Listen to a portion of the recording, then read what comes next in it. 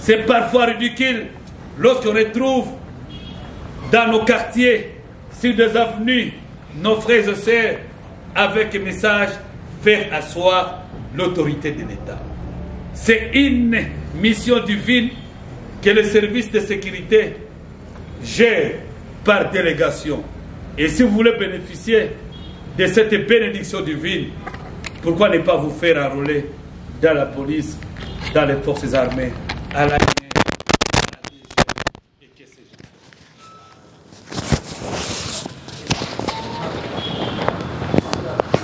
La quatrième mission traditionnelle de la police des services de sécurité, c'est de rechercher et représenter les infractions contre la sûreté de l'État. Nous n'avons qu'une seule République démocratique du Congo. Et celle-ci n'est pas une photocopie, moins encore une copie. Toute infraction contre la sûreté de l'État incombe très bien à la mission de services de sécurité. Parmi les composantes des infractions contre la sûreté de l'État, nous pouvons retenir atteinte contre l'autorité de l'État et l'intégrité du territoire, cas de rébellion armée. Le Nord qui vous traverse, une histoire sombre par rapport à l'activisme des groupes armés, notamment les terroristes d'un 23 appuyés par l'armée rwandaise. Cette activité, chers citoyens, distingués invités, tombe bien dans les coûts, dans le champ d'application de services de l'État, parce que toute rébellion armée doit être poursuivie, et cela par tous les services de l'État, quelles que soient vos relations familiales. Nous avons livré illégal des troupes. Vous vous décidez de livrer des troupes à l'ennemi. Le service de sécurité doit être derrière vous. Et vous devez être poursuivi pour atteinte à la sûreté de l'État. Nous avons l'exercice illégal d'un commandement militaire. Vous vous réveillez au quartier Murara, Mikeno, Mabanga, et vous vous déclarez être commandant d'une organisation militaire, frères et sœurs, le service de sécurité doit être derrière vous et poursuivi pour atteinte à la sûreté de l'État. Nous avons voulu un État de droit par le référendum, eh bien, nous devons accepter le caprice et le secret de la Constitution qui est la loi mère. Nous avons la participation à des bandes armées. Il est établi qu'actuellement, le Congolais adore bien le grade. Et curieusement, dans les services commandés, apparemment, le grade raccourci est devenu le grade du colonel. Et je pense, d'ici un mois, deux mois, ça sera le grade du général. Et donc, les gens sont déjà habitués au raccourci, à participer à des groupes armés pour obtenir des grades. Vous êtes un repris de justice, vous êtes un criminel de grand chemin, il y a eu évasion dans la prison et vous vous décidez, nuit et jour, de vous enrôler, je m'en excuse, dans des groupes armés. Vous devez être poursuivi du chef de l'infraction contre la sûreté de l'État. L'exaspération des tensions tribales, c'est devenu un cours d'option en République démocratique du Congo et principalement à l'Est. Et qui sont moqués. Au mwana molo akali alisi. Baouma. Beneuiru. Lusu Central. Présence Kassayenne. Tout ça. Lorsque vous vous distinguez dans des tensions tribales, eh bien, Ne soyez pas surpris un jour qu'on puisse tomber sur vous par les services de sécurité. Parce que la République démocratique du Congo, ou bien la nationalité congolaise, elle est une et exclusive. Et nous devons être fiers d'appartenir à la République démocratique du Congo. Les histoires des tribus ne servent à rien. Nous devons avoir une vision, une idéologie pour faire parler notre pays dans des cours des grands pays. Nous avons la sédition ou organisation des mouvements insurrectionnels. Je l'ai dit tantôt que nous voulons bien des raccourcis. Nous sommes habitués à des gouvernements d'arrangement afin de monter des mouvements insurrectionnels. Heureusement, les forces ou les institutions de la sécurité sont en train de tout mettre afin de mettre en dehors des frontières de la République démocratique du Congo ceux-là qui ont encore besoin des mouvements insurrectionnels. Nous avons connu dans ce pays un président qui a dit fini avec la récréation. Nous avons la propagande des faux bruits. Ambou, Ambou, Balisem, Ambou.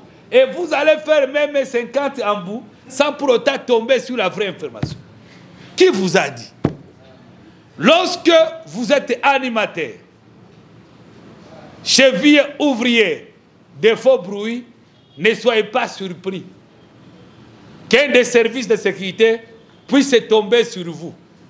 Parce que la loi reconnaît à l'un de ces services de sécurité cette prérogative. Nous avons l'organisation des milices privées. Je ne voudrais pas y revenir par rapport à ce que j'appelle les milices privées. Ce qui m'envoie au deuxième point, pour présenter les missions spécifiques révolues à chaque service de sécurité. Ici, je commence par l'Agence nationale de renseignement, ANR, qui a été créée par le décret loi numéro 003 2003 du 11 janvier 2003 portant création et organisation de l'Agence nationale de renseignement. L'ANR dispose, au terme de l'article 3 du décret loi précité, des missions spécifiques de l'ANR. Primo, la recherche, l'interprétation et la diffusion des renseignements politiques, économiques, sociaux et culturels et autres intéressant la sûreté de l'État pour permettre à l'autorité de parer à l'éventualité et de passer à l'action le cas échéant. Ça, c'est la mission traditionnelle de l'Agence nationale des renseignements. Comme le protocole m'oblige, je vais parler de la Direction générale de migration. Ce que nous appelons la DGM a été créée par le décret numéro 002 2003 du 11 janvier 2002 portant création et organisation des migrations. Elle a pour mission de protéger les frontières et la police des étrangers, le suivi et la surveillance des mouvements de la population, la délivrance, entre guillemets, des passeports ordinaires ou les tenants liés aux nationaux et des visas aux étrangers, la collaboration dans la recherche des criminels et malfaiteurs ou des personnes suspectées signalées par l'Organisation internationale de la police criminelle. Je pense que le colonel professeur Job pourra bénéficier. Et à sa place, je dirais merci. La DGM ne, ne peut pas statuer sur les différends entre les particuliers. Les agents de la DGM, qui sont des OPJ, ne sont OPJ à compétence générale conformément à l'article 17 du décret loi organique qui est pour les infractions flagrantes ou répétées, ou lorsque notre organe judiciaire ne peut mener l'enquête. Ils doivent, dans les derniers cas, à l'instar de l'école de la NER, déférer aux ordres de l'officier du ministère public. Donc ne soyez pas surpris, un jour un officier de la DGM vous interpellez et procéder à votre interrogation, audition, à l'absence des autres services de sécurité. Et là, il doit obéir aux ordres, aux devoirs, aux obligations de l'officier du ministère public. De la police nationale congolaise, mon corps. La police nationale congolaise en République démocratique du Congo, l'historique, elle est un peu vaste.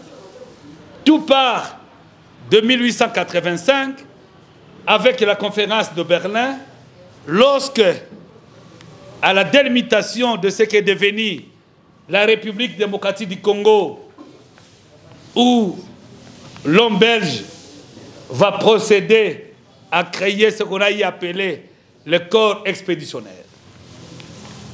Celui-ci, avec le roi Léopold II, sera renforcé par ce qui a été appelé la force publique.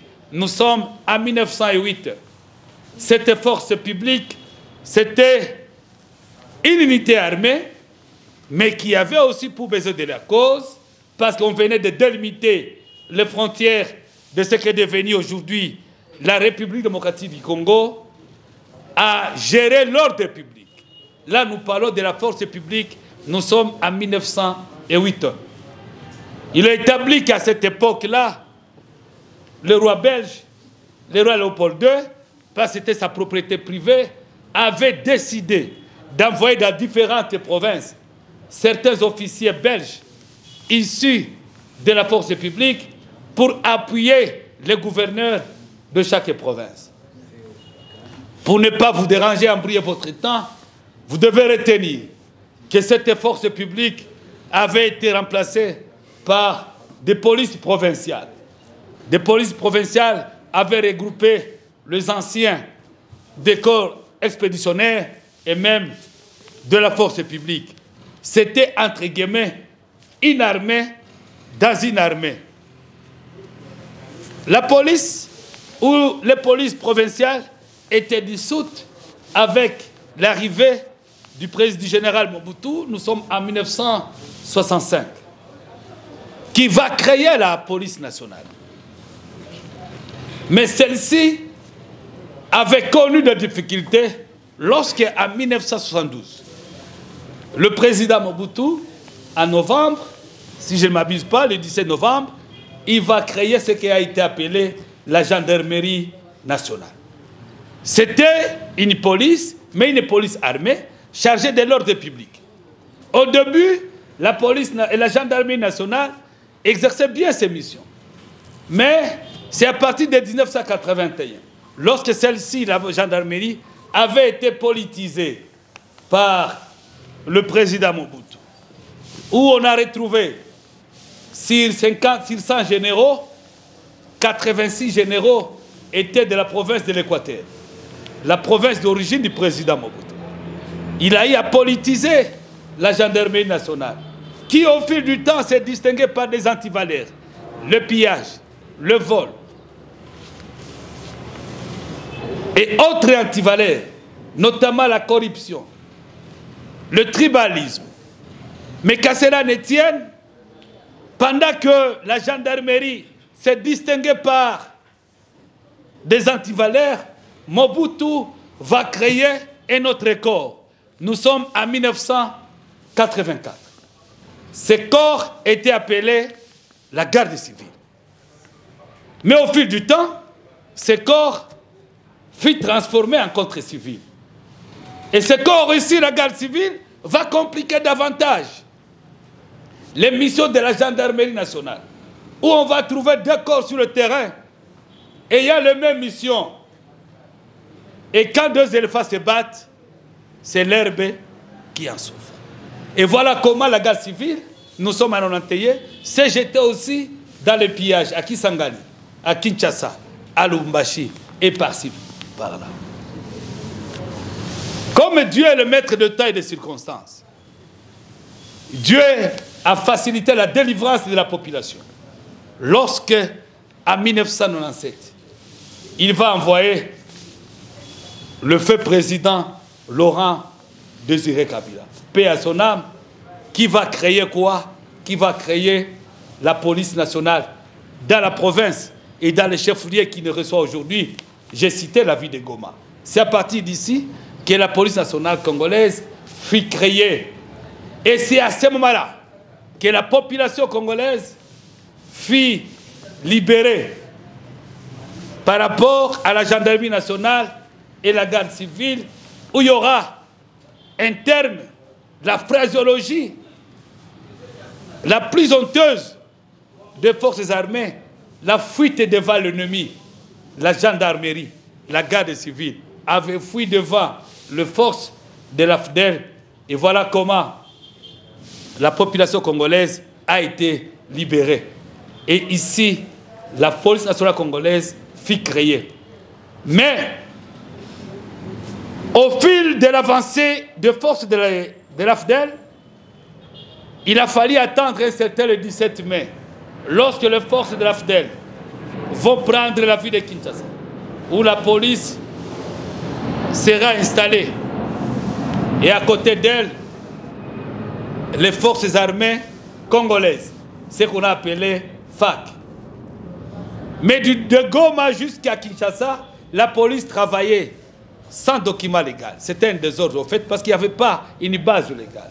C'est comme ça qu'en 2002, Joseph Kabila va signer un décret portant création de la police nationale congolaise, mais avec effet rétroactif à partir de 1997, d'autant plus que la police créée, malheureusement Laurent Désiré Kabila, n'avait pas connu la beauté de ce qu'il a créé parce qu'il n'a jamais signé aucun document légal par rapport à ça. Et le décret de 2002 va porter sur l'organisation, l'institution et le fonctionnement de la police nationale congolaise. Mais ce décret va produire ses effets à partir de 1998, d'autant plus qu'il y avait des actes posés par cette police et il fallait que ces actes soient couverts. On a évolué jusqu'en 2011 lorsque on va signer la loi portant organisation et fonctionnement de la police nationale congolaise qui jusqu'à aujourd'hui fonctionne. Le protocole me signale que le temps c'est le temps, on doit respecter. Alors, je m'en excuse, je m'arrête ici. Ceux-là qui auront besoin de ces textes trouveront les organisateurs. On va continuer.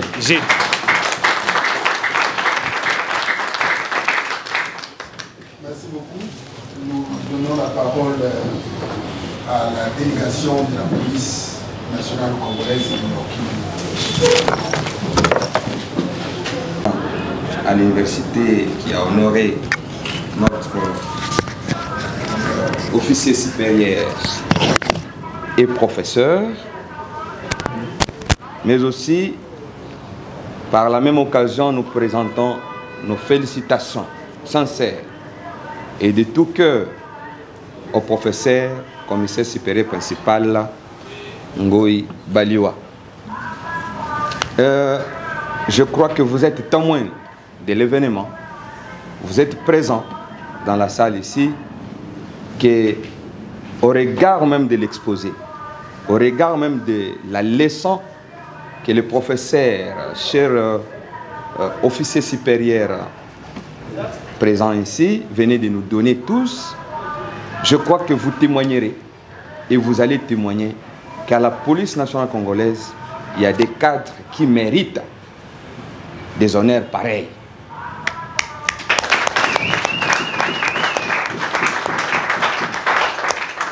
Comme je l'ai dit tantôt, que c'est avec euh, un sentiment émotionnel que je l'ai dit, puisque lorsque je me vois dans ces corps, avec de telles têtes, croyons que ce pays pouvait être mieux encore une fois et sera encore mieux dans l'avenir.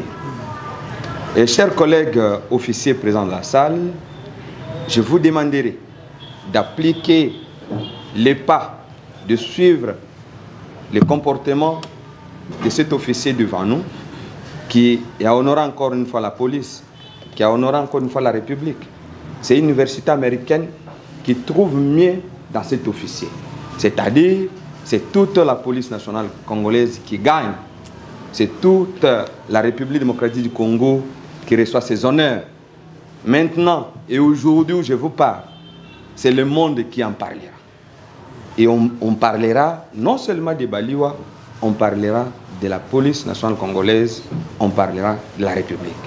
Ainsi, par rapport aux missions qu'il venait de, de citer par rapport au service de sécurité, j'ai retenu quelque chose. Assurer l'ordre public et la maintenir. Maintenir cet ordre public, c'est un devoir. Chers officiers qui êtes dans la salle ici, et surtout que je suis moi-même de la police judiciaire, en maintenant l'ordre public, ne, la, le troublez plus aussi, comme il a dit. Nous devons la maintenir, nous devons l'assurer, et surtout, ce qu'il a ajouté, il a dit euh, faire asseoir l'autorité de l'État. Asseoir l'autorité de l'État, sans l'autorité de l'État, le pays n'existait pas. Sans l'autorité de, l'État, nous n'existons pas. Nous ne sommes pas officiers. Et tous ces services ont donné lorsque l'autorité de l'État est bien assise. Je crois que vous m'attendez tous. Et à tous ces gens qui sont dans la salle invités à cette occasion, nous vous disons que nous sommes les vôtres. La police ici que vous voyez, elle n'est pas pour autre personne, c'est votre police. Honorez cette police, puisque lorsque les étrangers voient quelque chose d'important dans cette police et que la police soit critiquée encore une fois par ses propres fils, c'est un regret. Chers frères, chères familles, chers invités, chers collègues congolais, vous devez honorer votre police. Encore une fois, au nom de la police nationale congolaise, nous remercions l'organisateur de cette cérémonie et nous félicitons la présence de tout le monde jeudi.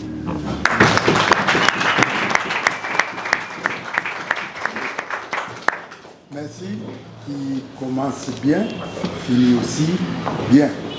Euh, nous allons vous demander que ceux qui ont une.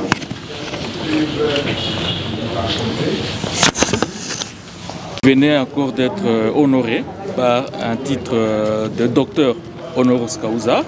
Est-ce que pour vous c'est un sentiment d'un travail bien fait? D'abord, je suis fier. Parce que dans votre narratif, vous avez utilisé encore. Cela veut dire que j'ai déjà été docteur. Et j'ai été docteur en thèse, le fruit des recherches, pendant dix ans. Et maintenant, aujourd'hui, c'est par rapport à tout ce qui a été fait. Voilà pourquoi c'est un sentiment de joie, de fierté. Oui, ils, disent que bon, c'est en tout cas relatif euh, à des services. La liste, elle n'est pas limitative et certains intellectuels, épris de sens, d'équité, ont compris qu'il fallait qu'on puisse, à ces jours, même si ça a traîné, m'honorer par rapport à ça. Vous avez exposé sur euh, les missions des services de sécurité. Qu'est-ce que vous pouvez retenir de cet exposé? Mais vous pouvez détenir seulement l'économie de la loi, que les services de sécurité ne sont pas sortis du néant. Les services de sécurité ont comme sous-bassement la constitution de la République démocratique du Congo. Et ça fait mal lorsque certaines personnalités, certains individus cherchent à violer, à saper, à discréditer même l'économie, la ténère de la Constitution. Et donc d'abord, notre origine, c'est la Constitution, les services de sécurité. Et les services-là ont des missions. Ont des missions par rapport à la loi. Et que nous devons savoir que les agents de services de sécurité ne sont pas au-dessus de la loi. Ils sont aussi sujets de la loi.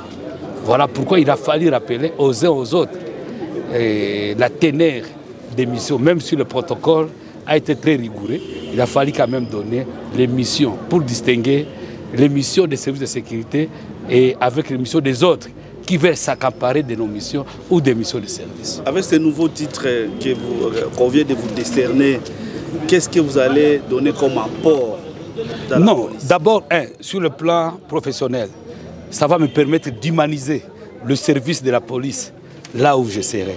Vous savez que la police nationale congolaise est devenue un service. Ce n'est plus une force, c'est un service et aussi un service public qui reçoit, qui traite les dossiers. Je l'ai dit que nous avons la mission de juger les gens. C'est l'attribut de Dieu. Et si nous exerçons, nous, la police, par le canal des OPJ, c'est parce que c'est par euh, une mission que Dieu nous a donnée. Et donc, nous devons humaniser le service de la police, considérer les Congolais, ceux-là qui sont devant nous, ceux-là qui sont de voir la police nationale congolaise comme étant des humains. Professeur, ah, oui. comment appréciez-vous cette euh, marque de solidarité de la part de vos collègues euh, officiers supérieurs de la PNC Nord Kivu, vous qui êtes plutôt affecté au Sud Kivu? Non, je suis congolais. Je suis congolais. Je suis de la police nationale congolaise. Je suis enseignant des universités. Je pense que je ne saurais pas apprécier. Il revient à la presse d'apprécier que c'est un message. Voilà pourquoi il a toujours été dit le peuple d'abord.